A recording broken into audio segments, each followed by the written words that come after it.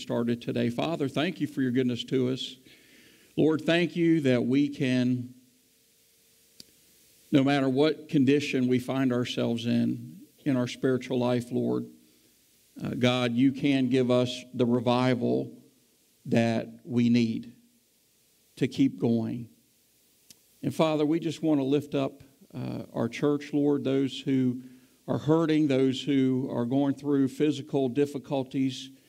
Uh, at this time, Lord, we want to continue to pray for uh, Gracie and Lord, just ask for your hand of healing uh, to come upon her, Lord. We, we ask that uh, you would, uh, Lord, take this, uh, this, this pain from her that she's been dealing with for so long. And God, we pray that you would remove it from her. And Lord, that you would completely heal her. And Father, we want to pray for Trish as well and just pray that you would help to heal her from the pneumonia that she's been dealing with and just the after effects. And so, God, we, uh, we, we pr- pray that your hand of blessing would be on Trish as well. And Father, we ask that you would touch our hearts and minds today as we consider uh, the things that you tell us in your word. Uh, Holy Spirit of God, that you would lead us to a place of conviction, and yet that you would empower us to make the changes that need to be made in our lives. God, we love you. We ask all these things in Jesus' name. Amen. Well, last week we began looking at the doctrine of the security of the believer. And we said that the Father and the Son and the Spirit of God all had a part as it pertains to the believer's salvation and securing that salvation. We said uh, last week, looking at the book of First John, that uh, uh, he actually talks about in that book. He said these things were written so that you may know that you have eternal life. And so we said that God the Father wants us to know that we have eternal life. Amen. God does not want us to walk around wondering from one day to the next whether we're an orphan or whether we belong to Him. God wants us to know, indeed, that we belong to Him if we put our trust and faith in Christ.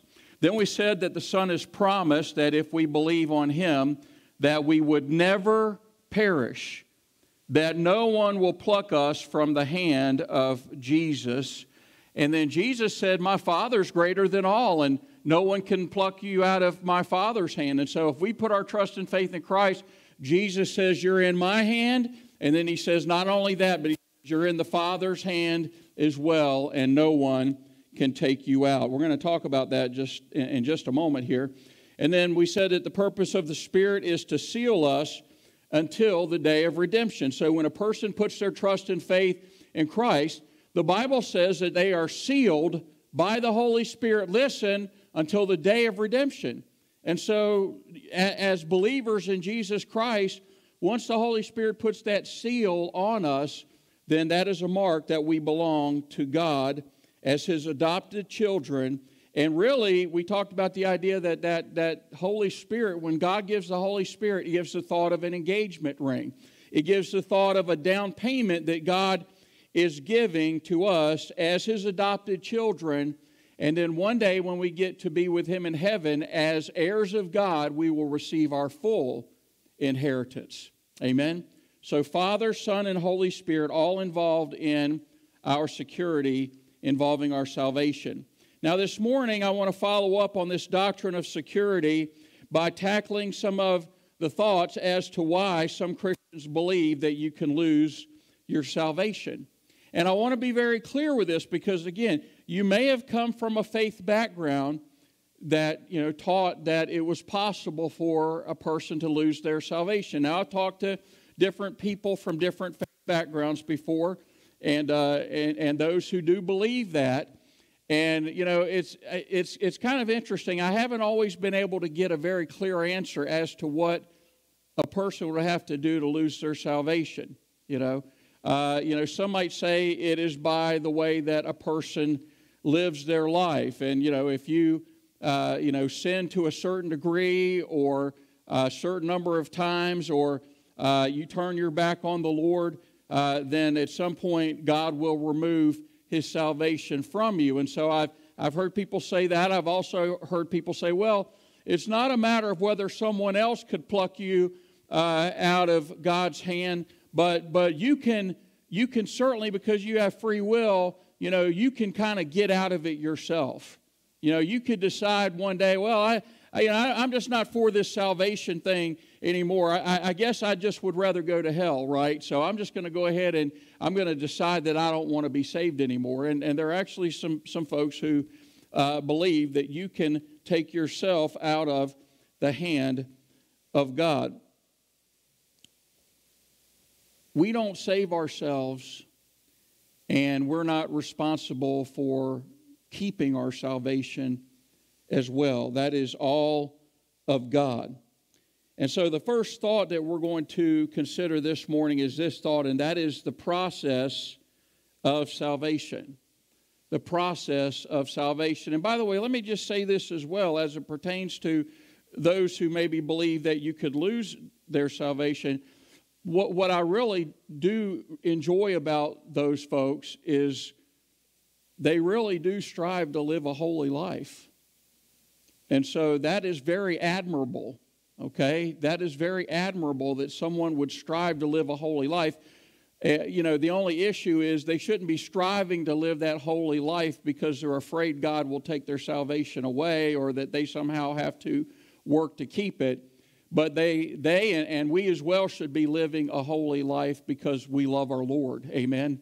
And we're so thankful for what Jesus did for us on the cross and that God the Father was willing to sacrifice his only begotten Son for our salvation. And so we're going to be looking at verses 1 through 9, and then we're going to look at verses 18 through uh, 23 of Matthew chapter 13 as we consider this idea of the process of salvation. So on the same day, Jesus went out of the house and sat by the sea. And great multitudes were gathered together to him, so that he got into a boat and sat and the whole multitude stood on the shore. Things to them in parables, saying, Behold, a sower went out to sow. And as he sowed, some seed fell by the wayside. And the birds came and devoured them. Some fell on stony places where they did not have much earth, and they immediately sprang up because they had no depth of earth. But uh, when the sun was up and they were scorched, because they had no root, they withered away. And some fell among thorns, and the thorns sprang up and choked them. But others fell on good ground and yielded a crop, some a hundredfold, some sixty, and some thirty. He who has ears to hear, let him hear. And so the Lord is talking about really, you know, when, when, he, when he talks about the, the seed, he's talking about the Word of God. And, and when he talks about, you know, these, these different conditions of the soil, he's talking about the heart of individuals.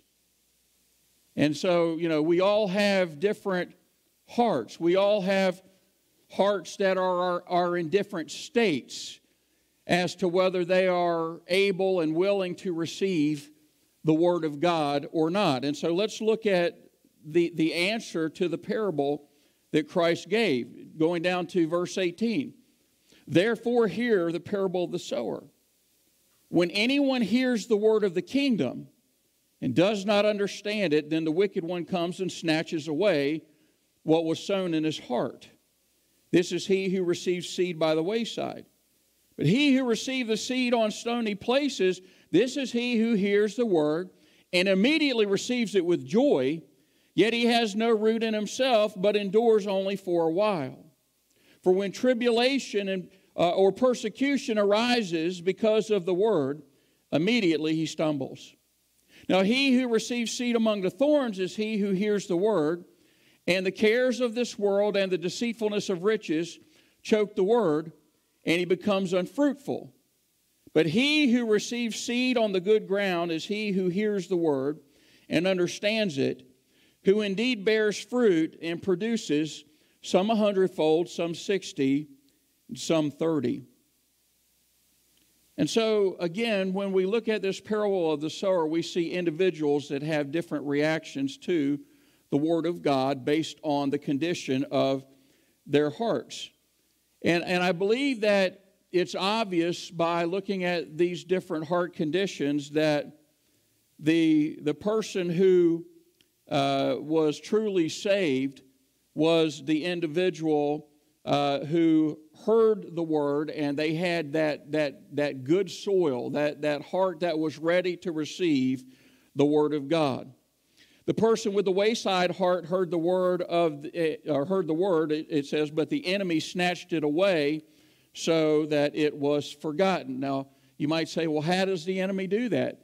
Uh, I don't know exactly how the enemy does all of that. I, I will say that the devil is very good at lying. He's the father of lies. He's very good at distraction and uh, taking people's minds away from uh, what they should be thinking about. So perhaps that is how he does it, but that is the person with the wayside heart.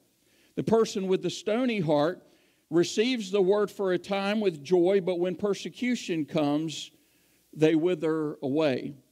The person with the heart of thorns is in love with the world and the things of this world, so the word gets choked out and the world is chosen over the word of God.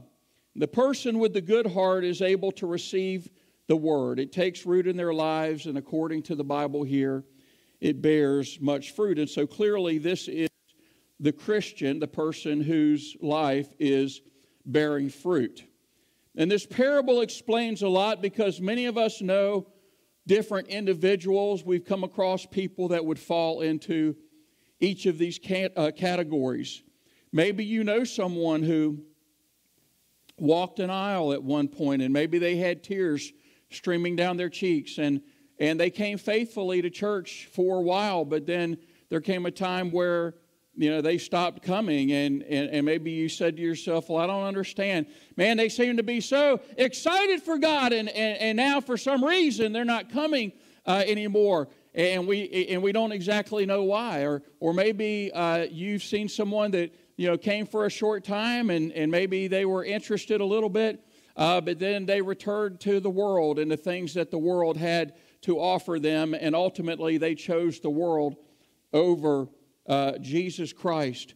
Maybe you know people who have that wayside heart that would say, you know, maybe they showed a, a little bit of interest, but but but not very much, and then now they're just completely uninterested uh, at all. And so, you know, we know different people like this who are in different places, and and, and here's what I would say about that, Be, because just because someone is in a different place as far as their heart condition, that doesn't mean they can't change. Right? You could have someone come who has a wayside heart, or someone who has that heart of stone, or someone who has that, that heart of thorns, and, and they're not as receptive to the word. Uh, their life is not producing fruit the way that it should. But hey, listen, you keep encouraging them to come. You keep encouraging them to read their Bible. You keep encouraging them to pray because God can work in people's lives and, and one day their lives can produce fruit. One day they can truly be saved if they're willing to accept the Lord into their heart and life. Don't give up on people. I guess that's the best way to say it. Don't give up. Even if they did come for a while and then they stopped coming, and you say, Well, I did my part. You know, I can't help it if they gave up on God. Uh, listen, yes, you can. You, you keep at it. You keep challenging them. You keep inviting them. You keep on trying. You do the best that you possibly can and let God take care of the rest. So, for some people, salvation happens immediately because their hearts are ready to receive the message of the gospel. But for others, it may take a little bit longer because their hearts are not ready yet.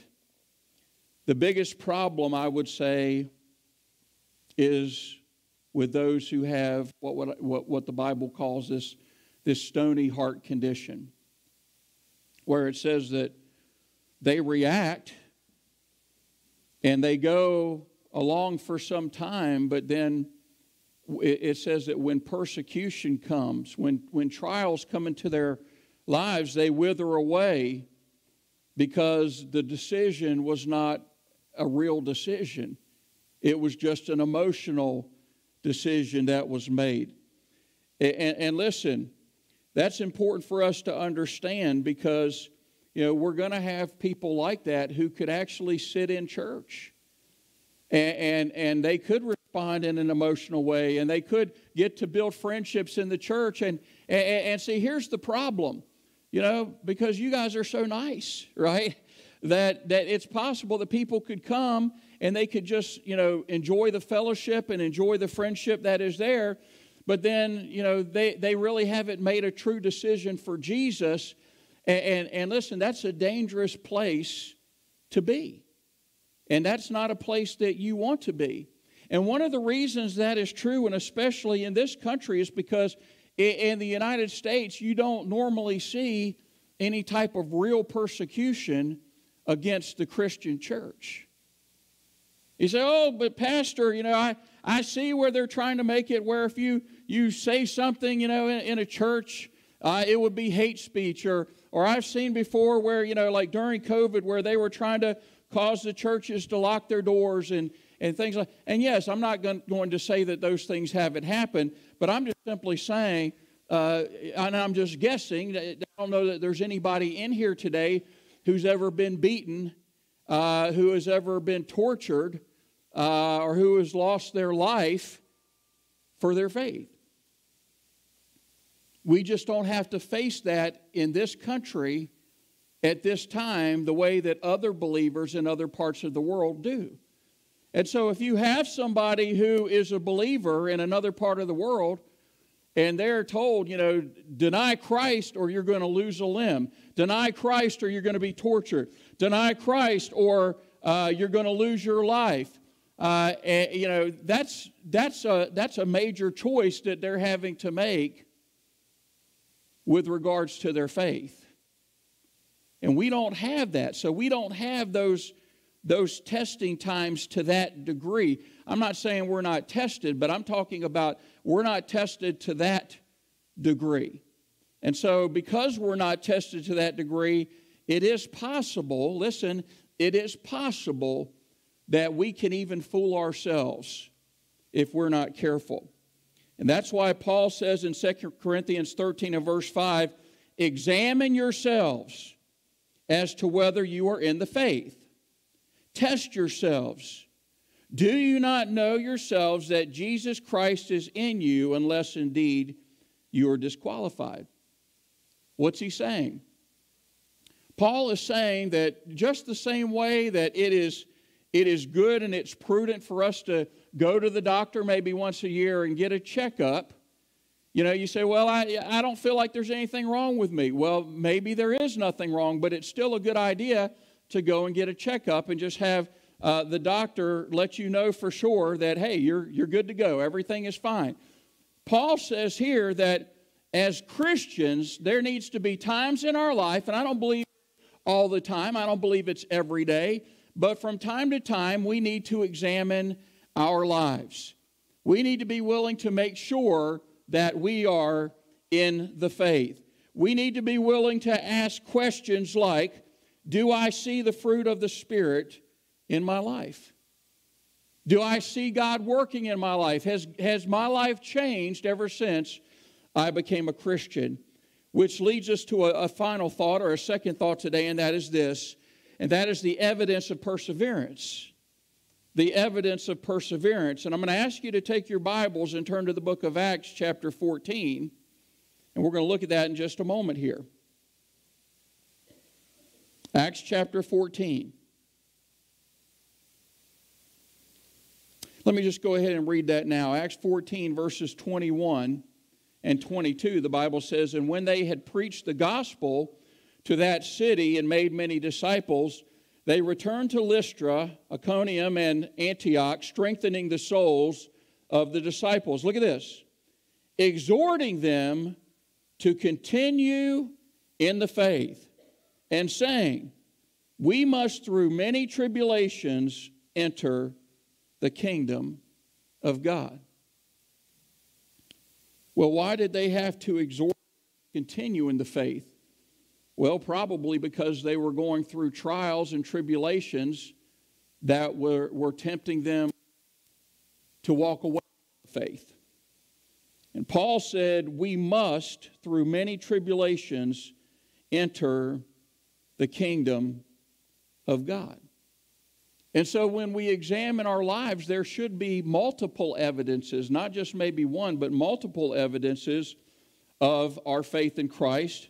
Jesus said that people would know that we are his disciples by our love for one another. Let me ask you a question this morning. Since you've become a Christian, is your love for others more evident? Is your love for the brethren, for your brothers and sisters in Christ, more evident? Have you grown in your love for others? That's a great question to ask as you're doing that self examination of your faith. Is there evidence of the fruit of the Spirit? Is there an ever growing surrender to the Lordship of Christ? And Jesus should be our Lord even more now than when we first became a Christian. When we first became a Christian, we didn't understand everything about the Lordship of Christ. But as we grow in our faith, that, then we should understand the Lordship of Christ in a greater way, and we should be submitting ourselves in a greater way. There should be a love for the Word of God. Do you, do you enjoy reading your Bible? Do you enjoy praying to the word uh, to the Lord? As believers, we should be given to good works. The Bible says we should be given to good works. And there's another evidence that for us to, to consider, and that is the evidence of our perseverance. The evidence of our perseverance. Now, in the book of James, we learned that faith without works is dead, right? You read that before? Faith without works is dead. Well, it's not, it's not saying that we're saved by our works. What it's saying is that if you say that you have faith, but there's no works to back it up, there's no evidence, then you can't really say that you're truly a Christian because good works is an evidence of your saving faith. Well, that's the way perseverance is. Perseverance doesn't save you, but if you persevere in your faith, that is an evidence that you have genuine faith. Amen? That's what we're, that's what we're talking about here. And so, uh, as a believer in Jesus Christ, as they per- persevere in their Christian life, especially through difficult times, it does not cause them to be a Christian, it confirms that they already are one. Amen? How many of you have seen people in this church go through difficult times and yet they're still here? They're still here. And you look at what they've gone through and you say, that would, that would crush a normal person. A, a person who, who has gone through that, uh, humanly speaking, they would have every right to turn their back on God because they, they, they trusted in God and then this particular thing happened. And humanly speaking, uh, because God allowed that to happen, I wouldn't be surprised if that person stopped coming to church for a while. I wouldn't stop. I, I wouldn't be surprised if that person stopped praying. I wouldn't be surprised if that person stopped reading their Bible because they were upset with the Lord. I got to tell you, Jack, I'm to pick on you a little bit.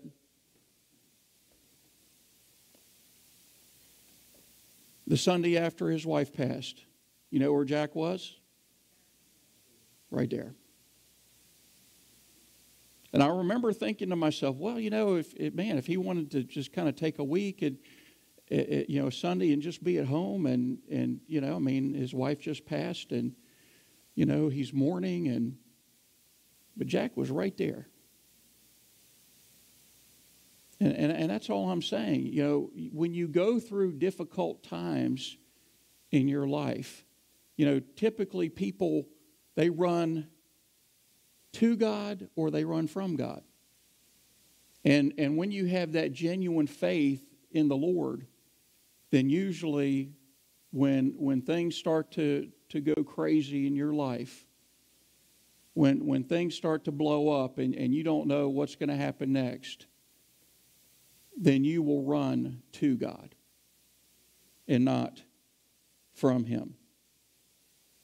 In Acts 14 21 through 22, we see the Apostle Paul returning to Lystra, Iconium, and Antioch to encourage the believers there and to remind them that when you stand for Christ, listen, there are going to be tribulations. Matter of fact, it's interesting if you uh, read earlier in uh, Acts chapter 14, Paul was stoned and left for dead.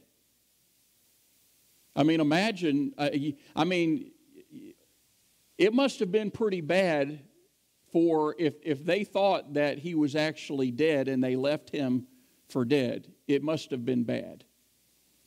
And yet, here is Paul. He was stoned for his faith and for preaching the gospel. And yet, here he is coming back around again and teaching and preaching and exhorting and encouraging all over again. It's worth it. It's worth it. Keep on going. It's worth it, whatever you're going through. So, if anyone tries to tell you that the Christian life is easy, it's not. And listen, we don't have to earn our salvation and we don't have to keep our salvation, but we need to understand that God does allow us to go through difficult times to test our faith.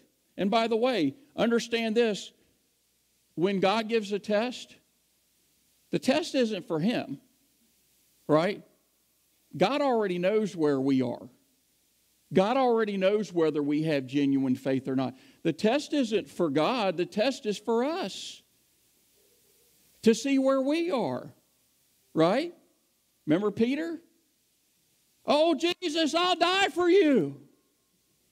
Peter, you're going to deny me three times. Oh, man, I'd never do that. Right? So when Peter did it, was it Jesus who needed to know where Peter was, or was it Peter who needed to know where Peter was?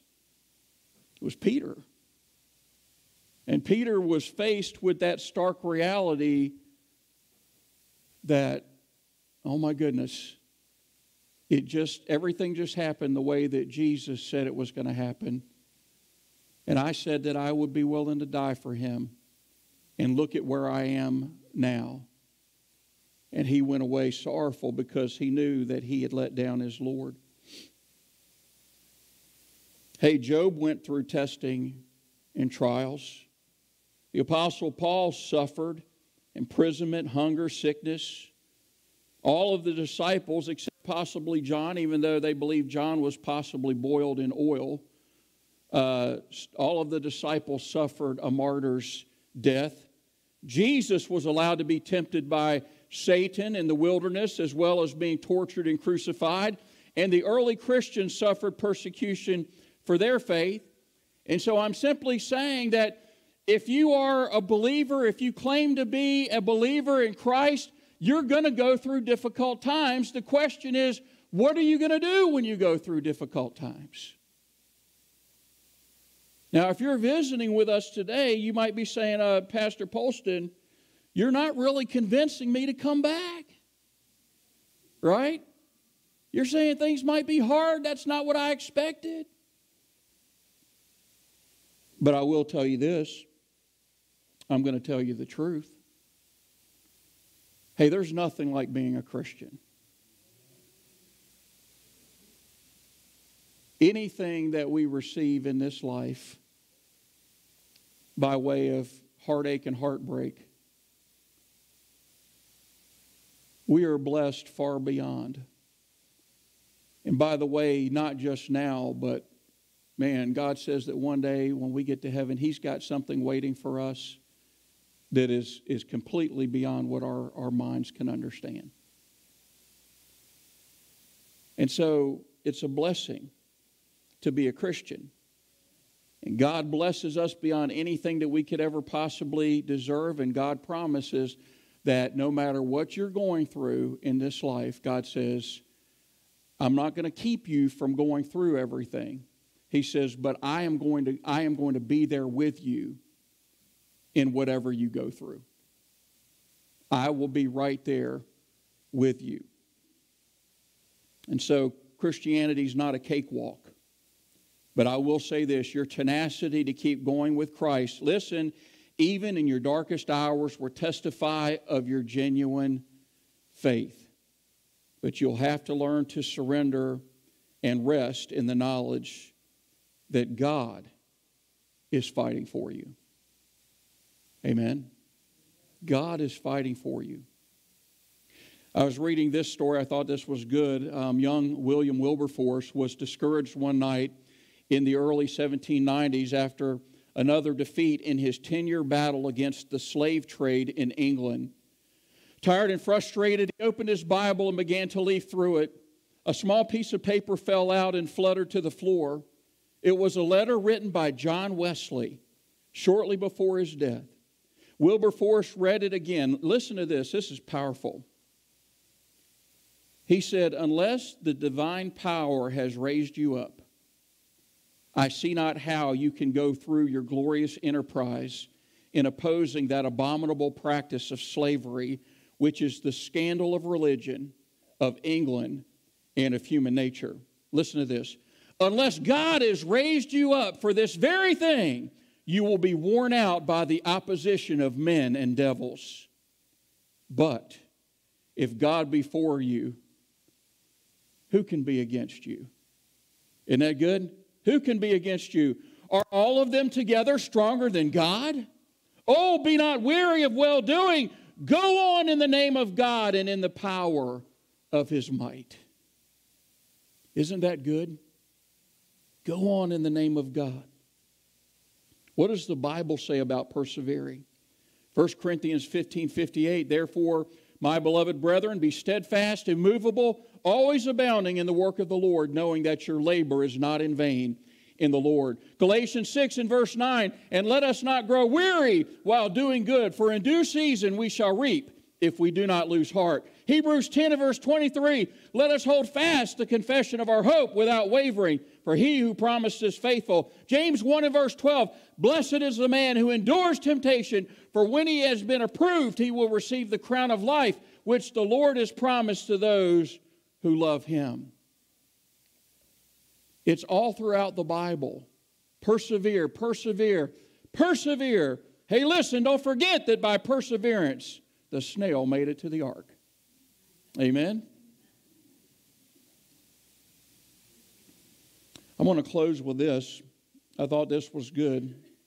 This is a historical figure, and maybe you'll guess who it is before I get to the end. This man failed in business at the age of 22. He ran for the legislature and was defeated at the age of 23. He failed in business again at the age of 24.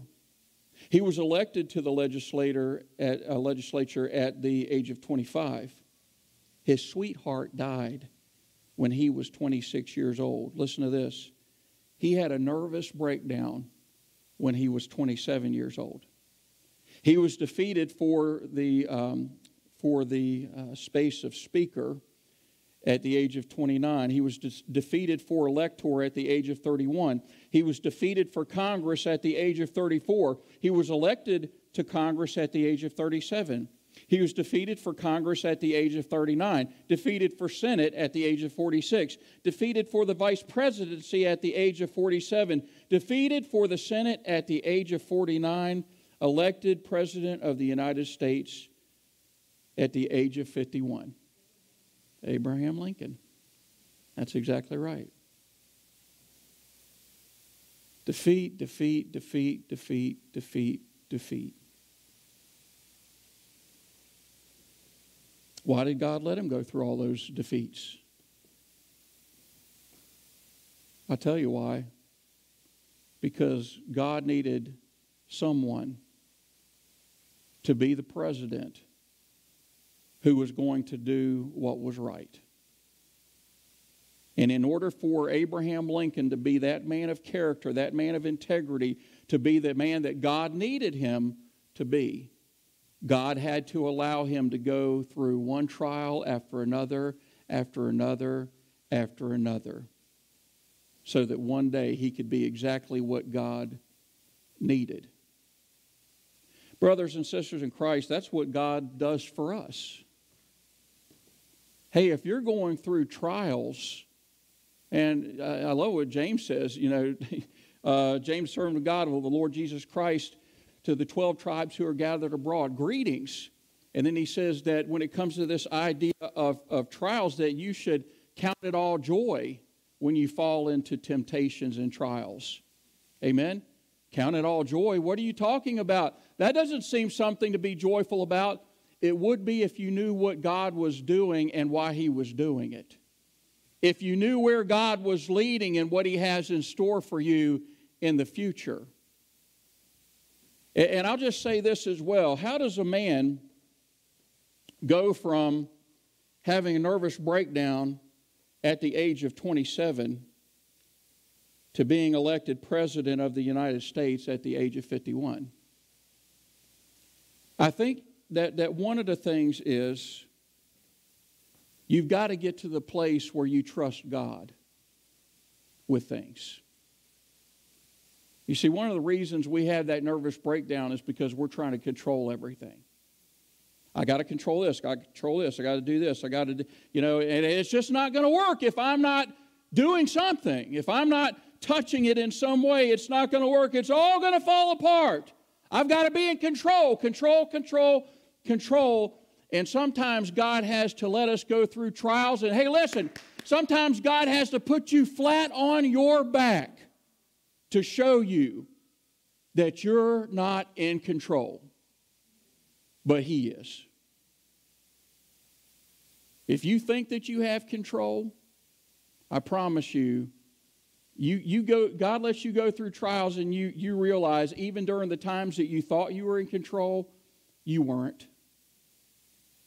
It's God that is at work in your life. It's God that is at work in my life. And hey, listen, even when you're going through trials, understand that there's a purpose in the trial. Where are you today with regards to making a decision for Christ? Would you say, Pastor Paul, I, I kind of have a wayside heart? I, I, I haven't been as interested as I should be. Maybe you've made an emotional decision in, in the past, put your faith to the test, you, you would say, I don't know that it would hold up. Maybe you're more concerned about the things of this world than the things of God. maybe you're here today and you would say, Pastor, I, I know I'm a Christian. There's no doubt in my mind about that. I, I remember when God worked in my life, I remember making that decision, and I can see throughout the, the weeks and the months and the years, I can see how God has worked in my life and how He has changed me. But, Pastor, I, I want to see my faith go to another level. Let's go to Lord in prayer.